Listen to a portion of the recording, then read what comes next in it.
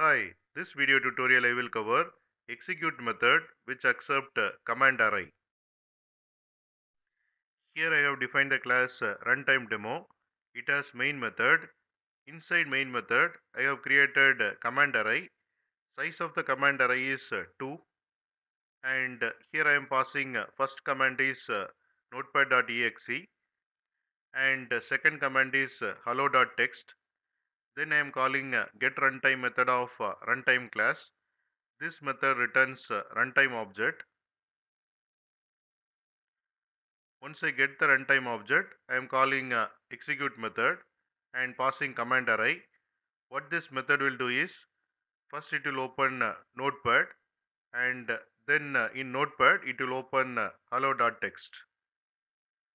And here I am checking process is alive or not and displaying that. I am running this program. And here you can see the output. And here you can see notepad is opened. And in notepad hello.txt file is opened.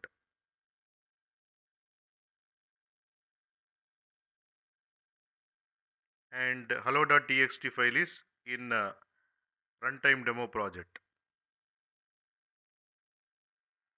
and this is about uh, execute method which accept uh, command array and uh, thanks for watching